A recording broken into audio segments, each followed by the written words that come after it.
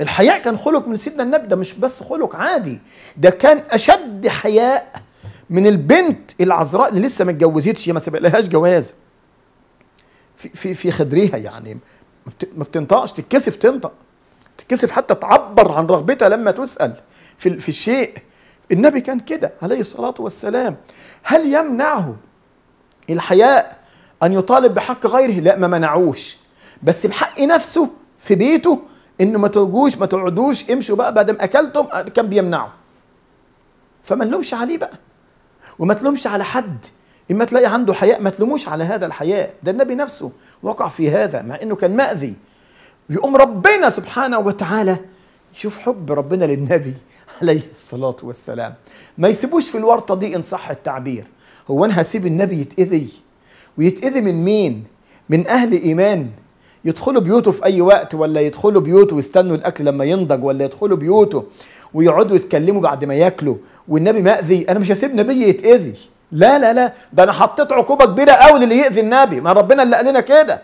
إن الذين يؤذون الله ورسوله وجمع وقارن بين إيذائه سبحانه وإيذاء نبيه. فما يؤذي النبي يؤذي الله وما يؤذي الله يؤذي النبي.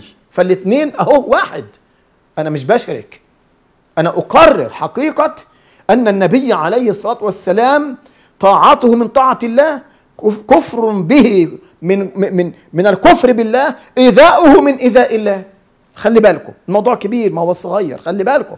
وذلك إن الذين يؤذون الله ورسوله لعنهم الله في الدنيا والآخرة. يعني حتى مش هيستنى جزاءهم في الآخرة في الدنيا قبل الآخرة. وهيجي ده بعد شوية إن شاء الله في الحلقات بتاعتنا. فربنا ما سابوش مأذي يرفع عنه الحرج وينزل قرآن. ده حتى ما ينزلش يعني رؤية حتى ولا بتاع. فالنبي يقول لهم والله أنا شفت وجبريل جالي وقال لي ويبقى حديث كنسي ده القرآن. ده قرآن. لا أنا مش هسيب نبي يؤذى. ده ده ده محمد. هو أي حد عليه الصلاة والسلام. مش هسيبه يؤذى. فينزل قرآن يتلى إلى يوم القيامة. ونتعلم نحن منه. إنه ما تستحيش من الحق. طب ماذا لو استحيت؟ ما هتعمل إيه؟ لو استحيت من الحق في خاصة نفسك خلاص أنت حر انت وشأنك. لكن في حق غيرك لا. والنبي الكريم لم يكن يستحي من الحق في حق غيره. ما ثبتش هذا ابدا. كان يطلب الحق لغيره مهما كان. هو نفسه كان يتنازل لشخصه عليه الصلاة والسلام. وإحنا شفنا شفنا إن ستنا حفصة لما زعلت أنه عاشر ستنا ماريا أمته وأم ولده فيما بعد. في يوم حفصة فالنبي عشان يراضي حفصة حرمها على نفسه. ينزل القرآن يقول له لما تحرم ما أحل الله لك؟ تبتغي مرضات أزواجك؟ لا ما ينفعش. حلفت؟ قد فرض الله لكم تحلة أيمانكم. بس ما حدش يلومني أنا بقى لما يبقى عندي شوية حياء وأقول والله أنا مش هقدر أعمل الموضوع الفلاني مع إنه مباح. عشان أنا بس مكسوف أو مستحي. أو أنا خايف أزعل حد. مش عيب. ده ده ده ده أخلاق. هذه أخلاق تراعى. لكن لما يبقى حاجة للغير ما كانش النبي صلى الله عليه وسلم يتوقف ابدا. لما يبقى حاجة تأذي الغير أو حاجة تضايق أو حق للغير كان يسأل وكان يطلب وكان يعمل ما عليه عليه الصلاة إنما في خاصة نفسه كان يستحي. عليه الصلاة والسلام. يستحي أن حتى يعبر عن اللي بيأذيه صلى الله عليه وآله وسلم. في جانب التشريع خلاص ما فيش أذى. عشان كده لما القرآن نزل يقول له وتخفي في نفسك ما الله مبديه وتخشى الناس. تخشى هنا بمعنى الاستحياء برضه. ما هو مكسوف. هيقول إيه؟ آه محمد اتجوز مرات ابنه. مطلقة أو طليقة ابنته. ابنه ما ينفعش. ما إحنا عارفين مرات الابن خلاص انتهت بقت بنتك. ما تطلق هي بنتك. خلاص ما عادش ينفع. ما عادش ينفع. ده مرة والله أنا آسف جدا يعني حوالي أسبوعين ثلاثة حد بعت يقول يعني ده ابني مات ومراته آه بعديه اتجوزت وبعدين اتطلقت. ينفع بقى اتجوزها يا أخي هي بنتك. هي بنتك. اسعى إنها تتجوز وتسعد ربنا يسعدها.